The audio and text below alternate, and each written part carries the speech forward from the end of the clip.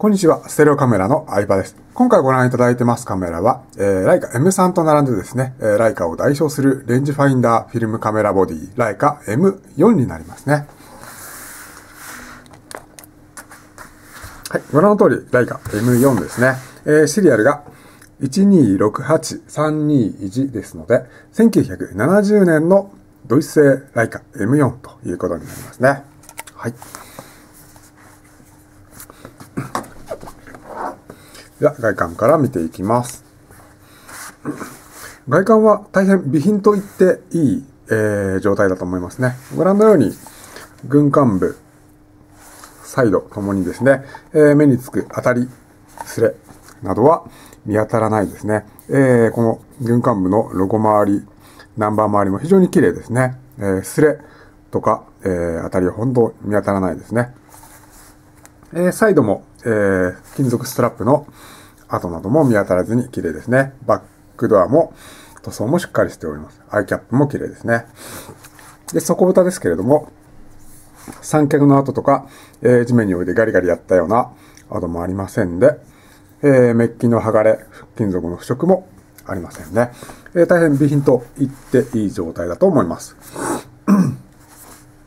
針側の状態ですけれども、針側もこういった、えー、剥がれたり欠けたりしやすい部分もですね、えー、しっかりと 貼れており、貼られておりまして、針側もかなり綺麗な状態をキープしてますね。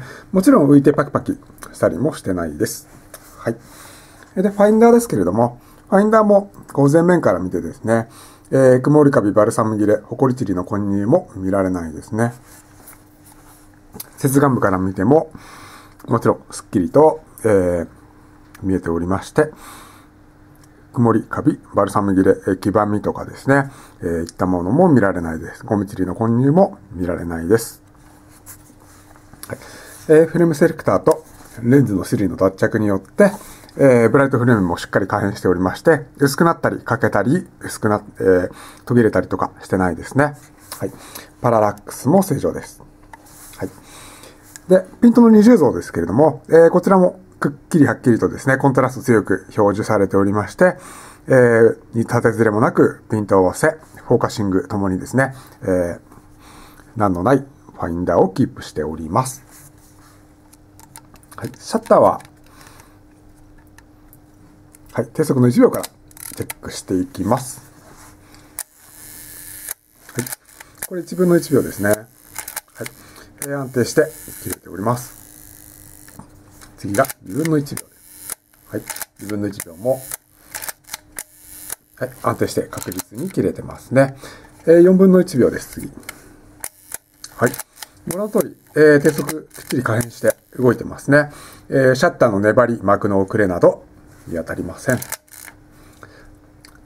えセルフタイマーをチェックしていきます。こちらのレバーをぐっと下げてもらって、このボタンでスタートいたします。えー、途中で弱くなったりしないで、はい、動いてますね。ここでシャッター切れて、最後まで、はい、動作しております。はい、えー、底蓋外していきます。で底蓋外しても、えー、金属の腐食、錆、汚れなど見当たらないですね。えー、素材の腐食、錆などないです。シャッター膜も綺麗ですね。はい、ここで、はい。えー、1000分の1秒高速シャッターチェックしていきます。はい。えー、ご覧の通りですね。はい。一瞬ですけれども、向こう側がこう見えてますので、1000分の1秒もしっかりと開いてますね。えー、低速から高速までしっかりと、えー、動作を確認しております。